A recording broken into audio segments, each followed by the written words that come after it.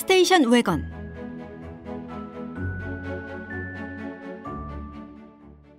한국 전쟁이 끝났습니다. 이제 전투를 위한 항공이 아닌 민간을 위한 항공의 시대가 시작됐습니다. 1948년 10월 30일 우리나라 최초의 민간 항공사인 대한국민항공사가 서울과 부산 간의 정기 노선을 허락받고 승객 3명을 태워 서울 김포 비행장을 이륙하여 부산 수영 비행장에 착륙합니다. 이날이 우리나라 항공 여객 운송의 시작을 알리는 날이기에 1981년부터는 10월 30일을 항공의 날로 지정하여 기념하고 있습니다.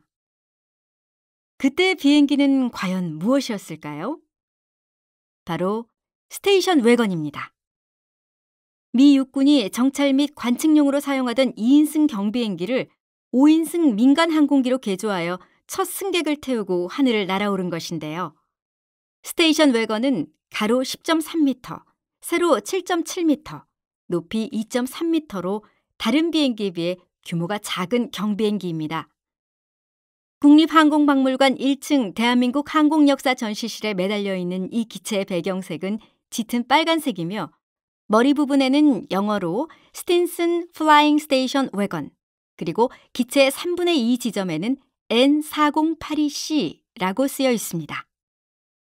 스테이션 왜건의 앞머리에는 짧은 길이의 연한 회색의 프로펠러가 달려 있습니다. 스테이션 왜건의 이륙 소리입니다.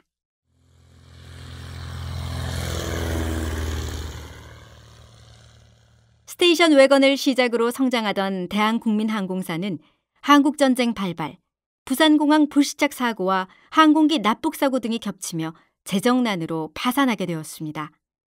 이후 국가 간의 교역과 운송을 위해 국영항공사인 대한항공공사를 설립하고 이후 우리가 아는 민영항공사 대한항공이 등장하게 됩니다.